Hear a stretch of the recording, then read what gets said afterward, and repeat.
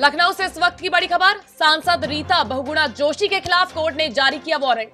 2012 में चुनाव आचार संहिता के उल्लंघन का मामला।